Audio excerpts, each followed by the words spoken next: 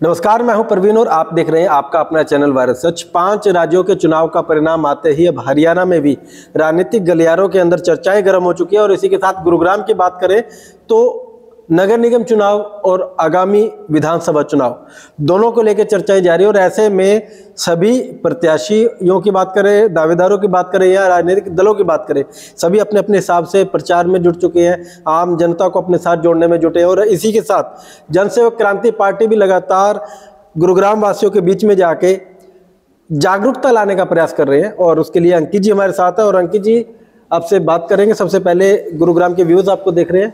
आपका बहुत बहुत स्वागत है। नमस्कार सभी को बहुत बहुत धन्यवाद प्रवीण जी। अंकित जी बहुत जल्द चुनावों की घोषणा हो सकती है ऐसी संभावनाएँ लगाई जा रही है।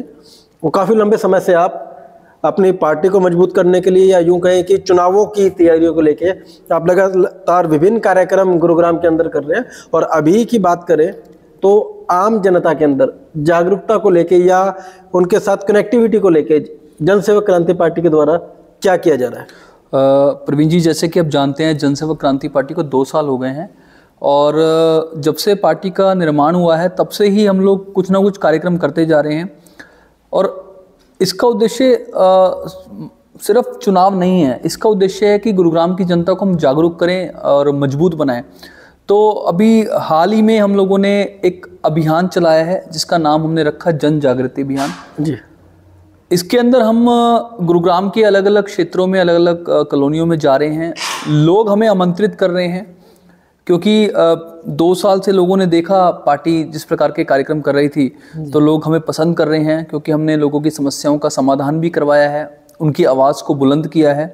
तो हम लोगों के पास जा रहे हैं लोगों के पास जा कर के उनकी समस्याओं पे चर्चा कर रहे हैं उनके क्षेत्र की समस्याओं पे चर्चा कर रहे हैं और अपनी पार्टी की नीतियों को विचारधाराओं को उन तक पहुँचा रहे हैं और लोग जुड़ भी रहे हैं? सर पार्टी की नीतियों और गुरुग्राम की समस्याओं पर चर्चाओं का जो सिला है ये कब शुरू हुआ था और अभी तक कितनी ऐसी चर्चाएँ गुरुग्राम के विभिन्न क्षेत्रों में और किन किन क्षेत्रों में कर चुके हैं? देखिए अगर मैं बात करूँ कि जो ये पर्टिकुलर जन जागृति अभियान है जी। ये इसको मात्र पंद्रह दिन ही हुए हैं। जी। और इन पंद्रह दिनों में हम लोग आ, मैं आपको गुरुग्राम में बताऊँ पटेल नगर में कृष्णा कॉलोनी में संजय ग्राम कॉलोनी में राजीव नगर में इन दो हफ्तों में हम चार जगहों पे गए और लोगों से हमने मेलजोल बढ़ाया लोगों की बातें सुनी लोगों को अपनी बातें बताई क्योंकि वर्तमान समय में लोगों के पास समय नहीं है मिलने का। तो हमने एक प्रयास किया कि इन लोगों से मिला जाए और बहुत अच्छा रिज़ल्ट आ रहा है बहुत अच्छा रिस्पॉन्स आ रहा है लोग पसंद कर रहे हैं जनसंघ क्रांति सर क्या रिस्पॉन्स आ रहा है और समस्याओं की अगर बात करें क्या समस्याएँ उन चर्चाओं के अंदर निकल के आ रही है?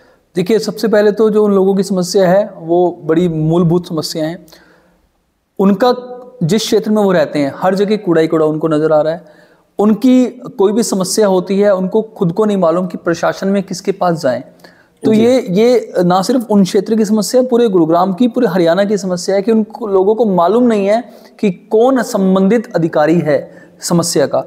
तो हम उनको बता रहे हैं कि प्रशासन में आप इनके पास जा सकते हैं और ना उनके पास जा सकते हैं बल्कि हमें भी बता सकते हैं जी, जी। हमारी टीम भी लोगों की आवाज़ को बुलंद कर रही है।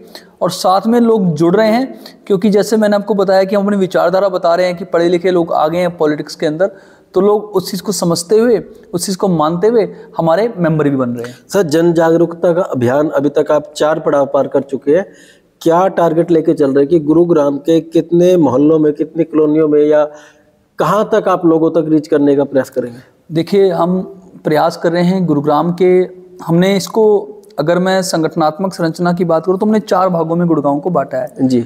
तो हम कोशिश कर रहे हैं कि हर भाग को जल्द से जल्द कंप्लीट किया जाए और पहले हम ओल्ड गुड़गांव और फिर न्यू गुड़गांव और मैं यूँ कहूँ पैरेलल भी चल सकता है। तो आने वाले समय में आपको दिखेगा कि ज़्यादा से ज़्यादा कॉलोनी हम कवर कर रहे हैं क्योंकि हम रोज़ शाम को डेली शाम को कहीं ना कहीं जाने वाले हैं।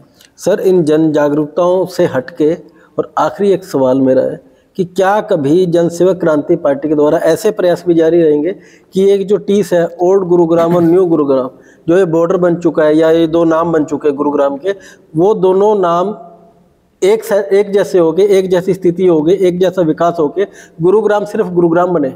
बिल्कुल आ, बिल्कुल सही कह रहे हैं प्रवीण जी आप। क्योंकि जैसे ये कथित रूप में एक नारा देते हैं हरियाणा एक हरियाणवी एक। जी। तो मैं कहूँगा ये सिर्फ़ कथित तौर पे ना हो ये ज़मीन पे भी दिखे और सच में आज गुड़गांव को दो भागों में बांट दिया गया है नया गुड़गांव पुराना गुड़गांव। और जनसेवक क्रांति पार्टी चूँकि संभाव की दृष्टि से है संभाव देखती है तो हम गुड़गांव को एक ही बनाएँगे एक गुरुग्राम। जैसे गुरुग्राम के नए लोग नए गुड़गांव के लोग हैं वैसे ही ओल्ड गुड़गांव के लोग हैं।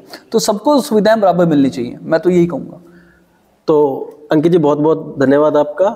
ये थे हमारे साथ अंकित जी, जिनका कहना है कि एक गुरुग्राम, नेक गुरुग्राम और लगभग इसी को लेके जन जागरूकता लगातार जारी है और इसी प्रकार गुरुग्राम में विभिन्न उम्मीदवारों के द्वारा, विभिन्न राजनीतिक लोगों के द्वारा, विभिन्न राजनीतिक संगठनों के द्वारा क्या आगामी प्रयास किए जा रहे हैं, क्या वादे किए जा रहे हैं, क्या दावे किए जा रहे हैं यह सभी अपडेट्स हम आपको लगातार देते रहेंगे। इसी तरह जुड़े हमारे साथ और देखते रहे आपका अपना चैनल भारत सच